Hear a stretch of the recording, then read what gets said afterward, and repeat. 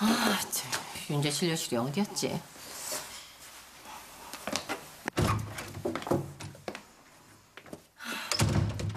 어디 갔나?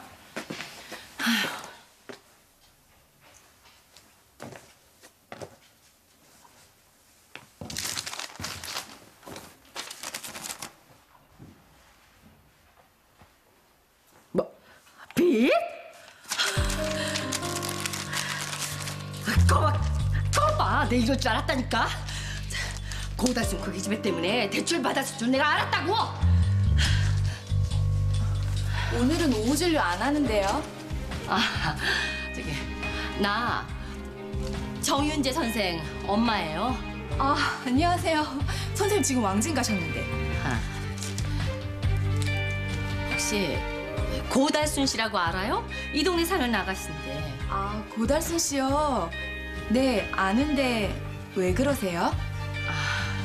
이게 그러면 고달순 씨 집이 어딘지도 알아요? 엄마! 어디 가셨나?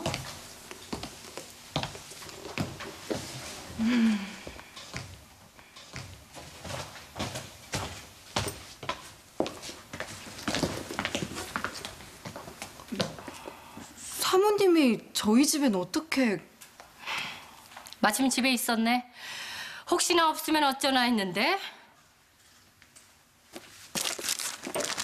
이거 어떻게 된 건지 설명을 좀 해줘야 할 것 같은데. 아, 아 이, 이건 너! 너 내 앞에서 이윤재 돈 때문에 좋아하는 거 아니라며? 순전히 마음만으로 좋아하는 거라며? 그래놓고서는 뒤로 이런 짓 하고 있었니? 사모님 오해세요. 저도 오빠가 대출 받아서 저희 집 빚 갚아줬는지 몰랐어요. 저도 어제 알고 너무 놀래서 이제라도 다달이 갚으려고. 오해 좋아하네. 내가 너 같은 애 모를 줄 알아?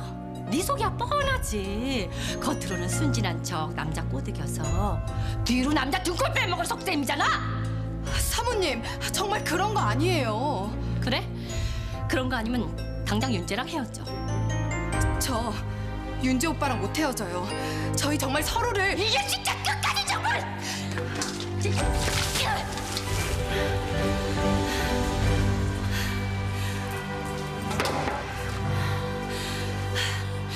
헤어져. 윤재랑 헤어지라고!